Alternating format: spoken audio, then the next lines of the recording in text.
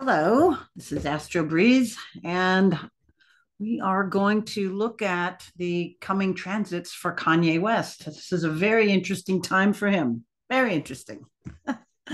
so, well, let's look and see what we can see. So, right now, um, I kind of like to start with the outer planets and then work our way in. But there's some very interesting things here. Um, he's got right now transiting Pluto is in his seventh house of relationships and open enemies. And it is at 26 degrees Capricorn. And it is almost exactly squaring his natal Mercury at 26. I'm sorry, trining his natal Mercury at 26 Taurus. So we've got an earth sign, Capricorn and you know Pluto, and then his his um natal Mercury in Taurus, both Earth, Earth, Earth. So that's interesting. You know, we've got the a really good a really good vibe with that mercurial energy, you know, and then him being a rapper, you know, that's what he does. You know, he's wordsmiths. He brings his stuff out, you know, and he's got, you know, the sun in Gemini, but then he's a deep thinker with with that um with the Mercury being in that earthy Taurus. You know, it's not as quick as uh, you know being in Gemini, but that gives a lot of depth. And uh, people tend to think that it's it's slow, but it's not. It digests. It thinks about it. It it it's slow to to just knee jerk react, which is good. I think it balances that that Gemini Sun quite quite well. Okay, so that is giving him the voice to look at the dark side, to call out the crap. And that's what he's exactly doing right now. And look at that is exact. I mean, it, it's like within, you know, minutes. That's pretty cool. I love astrology. Okay, so that's that's one thing that's happening right now. So he's got, you know, making open enemies. for sure, faux show. All right, what else is going on with him?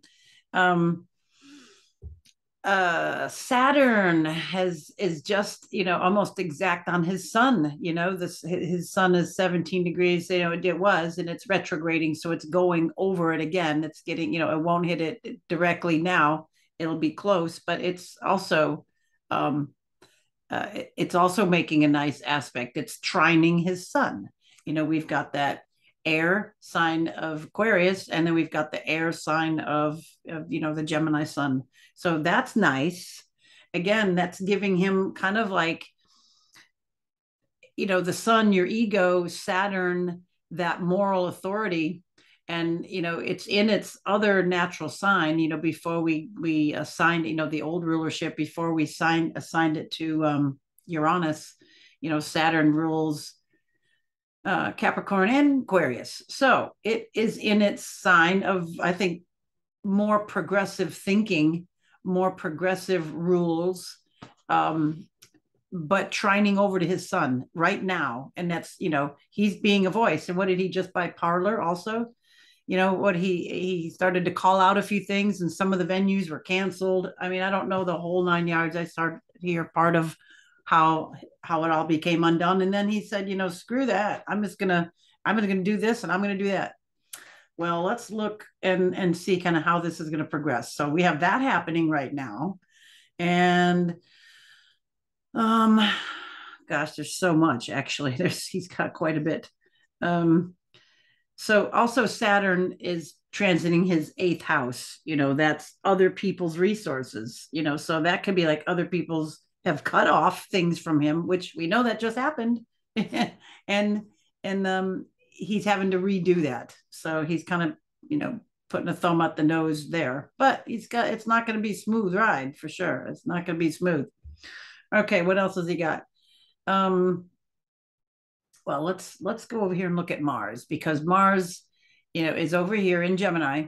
You know, and he's a he's a Gemini sun and Jupiter in Gemini and Mars is just about to go retrograde. So it it just went over, you know, his Jupiter and his Sun. So he had, you know, that forward Mars moving, you know, that aggressive energy to push through all of this stuff is just happening since since August when Mars went over. You know, it it went into Gemini, so it was like the twentieth. So probably early Mars or um uh, August that started to transit over his his Jupiter, giving that energy to to do what he's doing. And then it just went over his sun and it's slowing down. It's been slow, slow, slow. It's still conjuncting the sun. It's not, you know, it, it the sun is big. You know, they usually allow a pretty big orb here.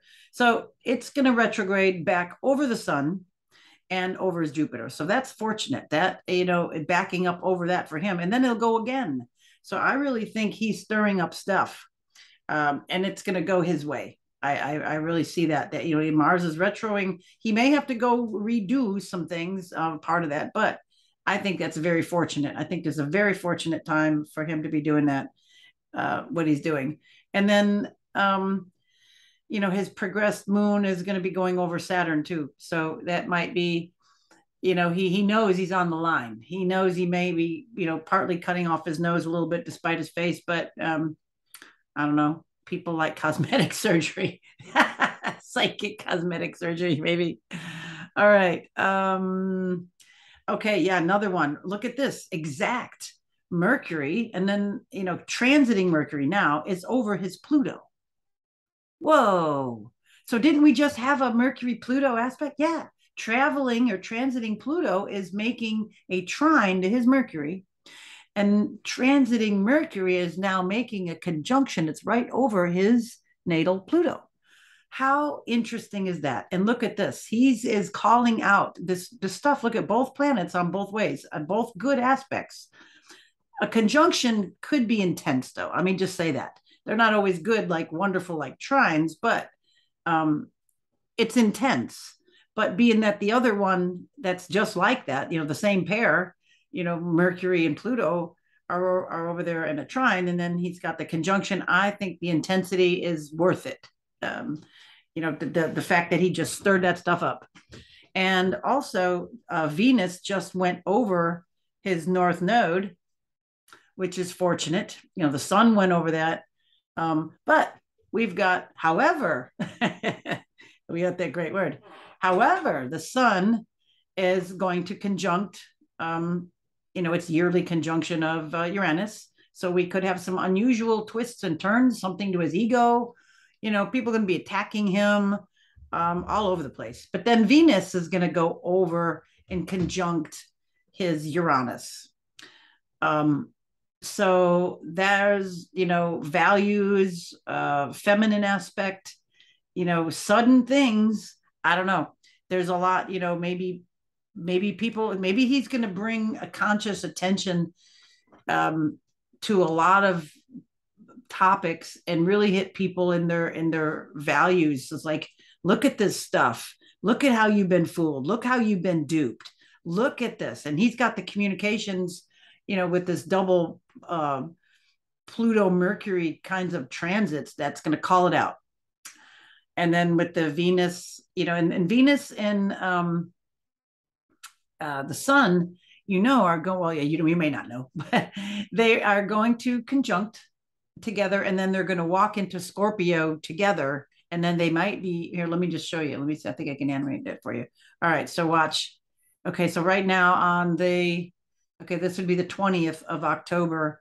You could see down in the bottom of the screen, Venus um, 27 Libra and the sun 27 Libra and watch, they're going to just with both of them 28. Now, Venus jumps ahead of the sun. You know, they're both 29. And then they both go, you know, on on the, the Sunday, the 23rd, they both go into Scorpio together, zero degrees. And look at, and Venus is going to go over um, his, it looks like, let's see, well, see, first the moon. Okay, so he we can expect some heat or some stuff going on for him through the weekend, and then maybe next Tuesday something else more because um, Moon is going to go over his Uranus. So sudden, you know, something sudden, emotional, um, I mean, intuitive flash, intuitive connection, sudden uh, connection coming out of the blue, or something like that, with with the Moon going over Uranus. And then here, let's look now. Um, here's Venus pulling ahead of the Sun there it is at seven and eight. So what day is this? The 29th. Venus is um, right over his Uranus. So there would be, you know, um, something of sudden uh, you know, sudden Uranus or out of the blue. Um, and then you know we've got the Venus uh, values, women, relationships. Who knows what that is? Could be a lot of things. And then the next day, um, the sun. Actually, two days later on Halloween. Interesting. We just have to watch and see what happens. But then the sun goes right over his the Uranus as well. So and then followed. Look at not too long after that. Um, on November 3rd. His his um Mercury is going over Uranus. So there could be some twists and turns here, people. Some really interesting twists and turns because we're going to watch all those planets go conjunct his Uranus. And Uranus, again, the planet of sudden things, out of the blue, intuitive flashes. And he's very intuitive. You know, he's very intuitive. He's got, if you see my other video, we go over his chart, his natal chart with his um Pisces, very, very sensitive Pisces moon. And um, um, um, God, I'm getting distracted over here. I'm seeing something else. And his uh, nice sensitive Cancer rising. But I'm just looking over here that now, look at this on this date on November 3rd, we have the moon, transiting moon at this time is over his moon as well. He's going to be in the news for a while on many levels. Look at this, at least for next few weeks um, look at this moon moon he's got some stuff going on you know that you know that's very intuitive that, that i mean it happens once a month but just the timing you know right when mercury and here again look at this again. So here we got the same kind of you know the same energy just keeps dinging on here. He's going to be i tell you a voice or something to, to be reckoned with it's got going on. All right let me see what else we got. We can go into so much but um you know for sake of time, I just wanted to hit on some of the major themes here.